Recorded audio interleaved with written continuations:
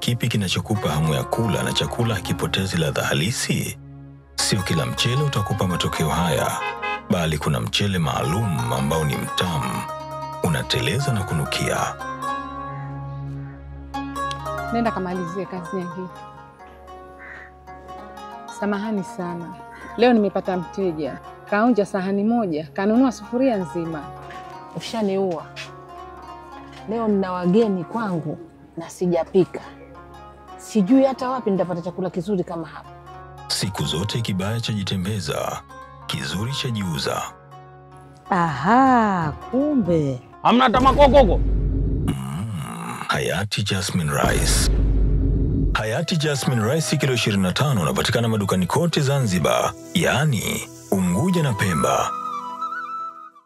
Sasa hakuna haja ya kusema mtu akaye akeshe aisubiri tena, akeshi si kwa kufanya ibada, anakesha anaisubiri nyota ya jaha haichomoze saa nane saa tisa ili apate kuomba. Hapana, wewe jitahid, linapozama jua katika hili kumi la mwisho, fanya ibada japo chache.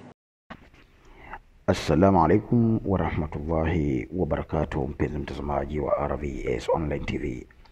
Taarifa zilizotufikia hivi punde ni kwamba leo tarehe sita mwezi wa nane elfu mbili ishirini na nne asubuhi Sheikh Khalid Mohamed Mrisho ametangulia mbele ya haki katika hospitali ya Muhimbili, Dar es Salaam, ambapo alipelekwa kwa ajili ya matibabu zaidi kutokana na ugonjwa ambao ulikuwa unamsumbua.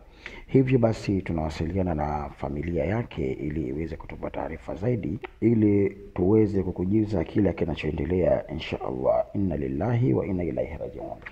Bila ya kusahau mpenzi mtazamaji wa RVS Online TV, Sheikh Khalid alikuwa ni mmoja kati ya mashekhe wetu ama maustazi wetu ambao walikuwa wanatoa waadhi kupitia hapa RVS Online TV.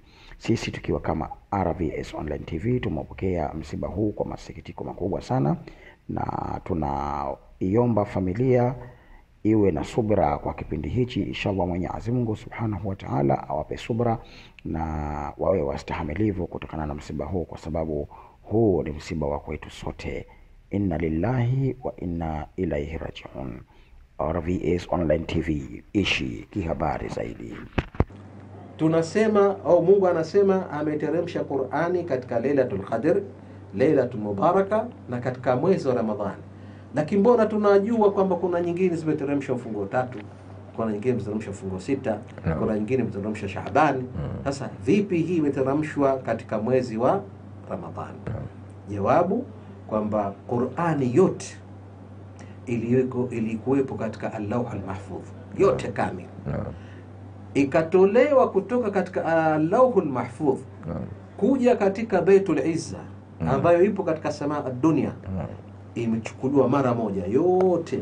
No. na hii ndiyo ilikuwa katika mwezi wa Ramadhani katika usiku wenye baraka na katika usiku wa Lailatul Qadr. Ndio ile Mungu akasema shahru Ramadan alladhi unzila fihi alquran kamil. Quran yote imeteremshwa katika mwezi wa ramadan lakini kuteremshwa wenyewe ni kutoka katika Allahul Mahfudh kuja katika Baitul Izza katika samaa dunia. Halafu kutoka hapo kwenye samaa dunia kuja kwa Mtume sallallahu alaihi wasallam ndipo ikawa inateremshwa kidogo kidogo kwa kipindi cha miaka 23. Kwa maana hiyo ni kwamba Qurani ilikuwa imekamilika yote, na baada ya kukamilika ikatoka katika Lauhul Mahfudh ikaja katika Baitul Izza, pale ndo ikawa sasa inakuja kwa vipande vipande kutokana na matukio ambayo yanatokea au maamuru ambayo yanakuja. Kwa hiyo watu wakawa wanapata eh, kwa hiyo ilikuwa tayari basi, ushukaji wake ndio huwa ambao unazungumzwa. Shaharu Ramadhan alladhi unzila fihi alquran, kwamba imetoka katika allauhi Allahul Mahfudh, ndo ilitoka yote kwa jumla. Sasa huku tena ndo iko inakuja reja reja. Naam. Eh, Sahihi. Naam, naam. Aha, tuendelee Eh, sasa Sawa. Kwa hiyo haya ndiyo tulikusudia kwa wingi zaidi kuliko siku hii ya Lailatul Qadr, na inasemekana kwamba hupimi hii sidoletwa pima ndo shubiri sijui kitu gani, lakini hupimi isipokuwa pana malaika. Kwa hiyo wale malaika wanakuwa wengi sana wanateremka, na wanapokuja wanapoteremka wanateremka na rehema. Tena basi tanazalu lmalaika waruhu, anateremka malaika na pia aruhu Jibril.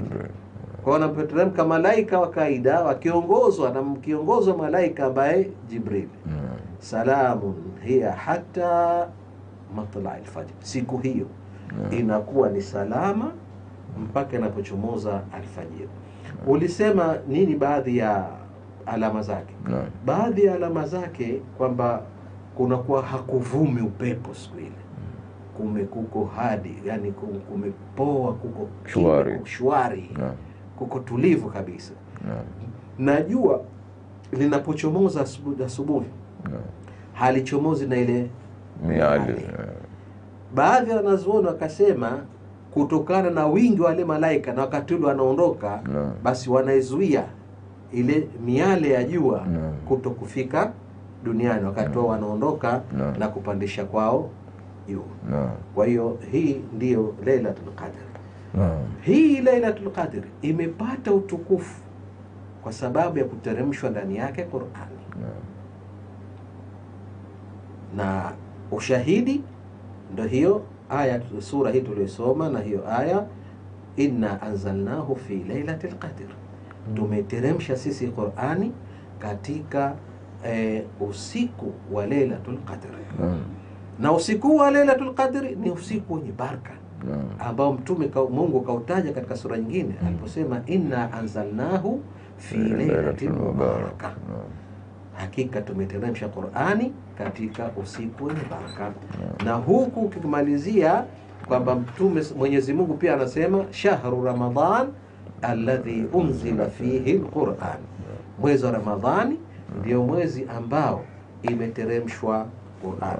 Sasa hapa kuna suala watu wanaweza wakatuliza kwamba tunasema au Mungu anasema ameteremsha Qur'ani katika Lailatul Qadr, Lailatul Mubaraka na katika mwezi wa Ramadhani. Lakini mbona tunajua kwamba kuna nyingine zimeteremsha mfungo tatu, kuna nyingine zimeteremsha mfungo sita, no. kuna nyingine zimeteremsha Shaabani. Sasa vipi hii imeteremshwa katika mwezi wa Ramadhani? Jawabu kwamba Qur'ani yote iliyoko ilikuwepo katika Al-Lawh Al-Mahfudh yote kamili no. ikatolewa kutoka katika Al-Lawhul Mahfudh no. kuja katika Baitul Izza ambayo ipo katika samaa dunia, Naam. imechukuliwa mara moja yote Naam. na hii ndiyo ilikuwa katika mwezi wa Ramadhani katika usiku wenye baraka na katika usiku wa Lailatul Qadr Naam. ndio ile Mungu akasema shahru Ramadan alladhi unzila fihi alquran kamil, Quran yote imeteremshwa katika mwezi wa Ramadhan, lakini kuteremshwa wenyewe ni kutoka katika Allahul Mahfudh Naam. kuja katika Baitul Izza katika samaa dunia. Halafu kutoka hapo kwenye samaa Mara nyingi watoto wanaporudi shule huwa hawajali chochote kuhusu usafi wa nguo zao, lakini balaa huanzia pale wanaporudi nyumbani kukutana na wazee wao wakiwa wamechafuka. Wewe njoo njoo njoo njoo.